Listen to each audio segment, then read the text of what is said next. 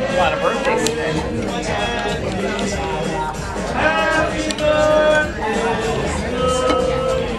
Okay. We have this